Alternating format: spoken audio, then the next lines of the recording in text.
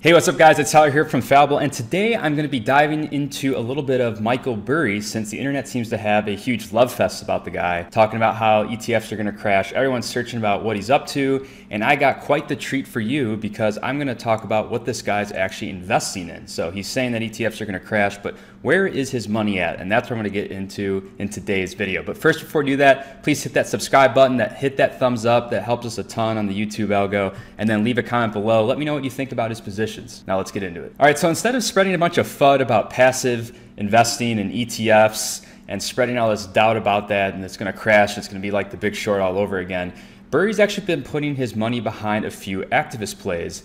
And none other than the resident value expert at MacroOps, our newest guy in the team, Brandon. He's been writing about this in his awesome Value Hive letter, which, by the way, if you have not seen that, go to macroops.com and click on Value Hive and sign up for that because it's completely free and he's been absolutely crushing it lately with the content. So let's get over to that. Now, here's the Value Hive that Brandon put out a few weeks ago, and the investor spotlight for that edition actually went out to Michael Burry. And so essentially, what Brandon's been telling us is that he has been doing two activist plays and he's going in on GameStop and Tailored Brands. And so these stocks are both sitting at all time lows. Both companies have high cash balances, and many investors think that this is a value trap. So, what he's trying to do is he's trying to swoop in and have these companies actually buy back their stock. And so, what his beef is, is he's isn't really thrilled with how TLRD has been allocating their capital over the last you know 10 years or so. And so he said, you know, guys, just do a buyback and reward the shareholders that way because you guys haven't been allocating capital correctly within the company.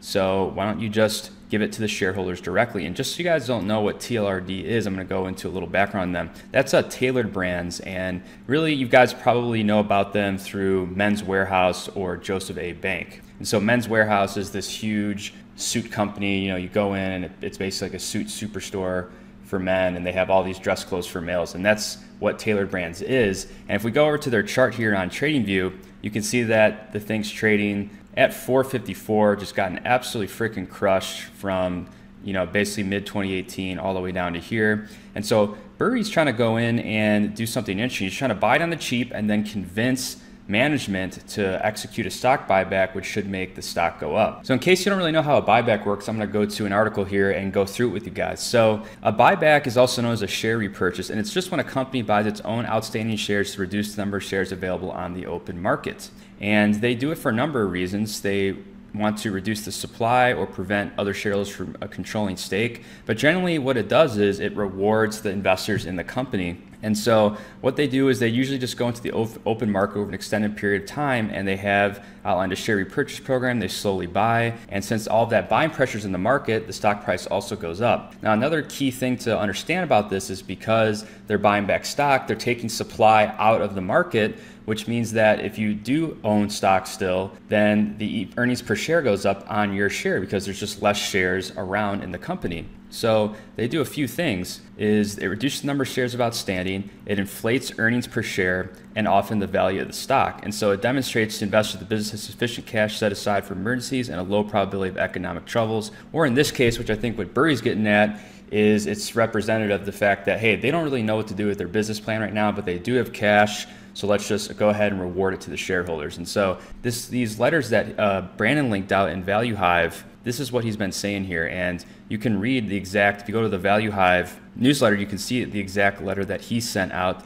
to the board and you can read through it. And essentially, you know, he, he's saying this in a semi-complex way, but he's saying, hey guys, do a $50 million share buyback and, you know, reward the shareholders that way. You guys haven't really been doing well lately because the stock's at quarter century lows and management, you know, you don't really know what you're doing. So why don't you just give that cash back to investors? So that's Burry's number one activist play. Now his next one is a virtually the same play. And if we go back to the Value Hive article, and Brandon says it looks like a duck, so he also seeks a more aggressive buyback from GME, GameStop, to the tune of 238 million. And so if Burry does get his way and the board accepts his proposal, and 80% of GME's outstanding stock would be retired. And management's already said they'd purchase stock up to six shares, so current prices of four still appear cheap. So if we go, let's look at GME real quick. You know, Burry's been loading up down here in the threes and the fours, and he's you know, saying, hey, why don't we buy this stock back up to six? You guys have been doing horrible lately. The business is essentially failing. It's gone from 60 down to four.